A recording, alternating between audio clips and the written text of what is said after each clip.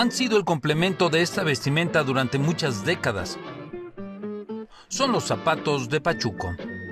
En el corazón de la Ciudad de México le dan vida a diseños multicolores. Me empezaron a pedir su zapato de color.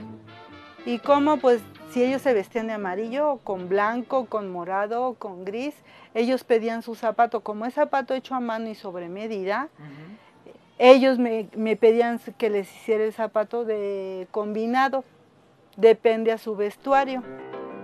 Su pareja comenzó creando modelos bi y tricolores en la calle de Libertad hace más de 60 años. Hoy sigue la tradición.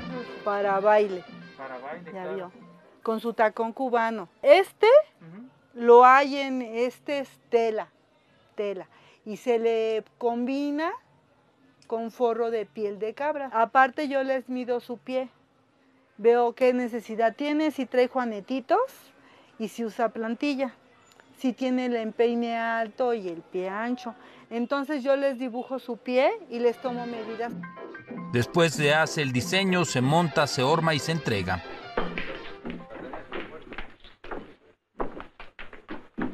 qué? Sin duda el pachuco más conocido era Germán Valdés, Tintán. Es un estilo de, de vida, es un estilo de vida, es una forma de, de, ser diferente.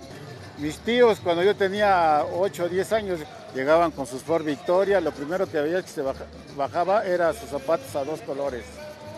Elegantes, elegantes, delgados, altos.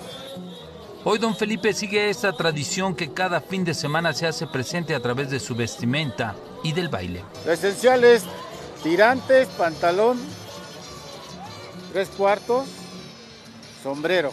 Ah, y zapatos a dos colores. Es muy importante los zapatos porque quieras o no, es la base de toda tu vestimenta.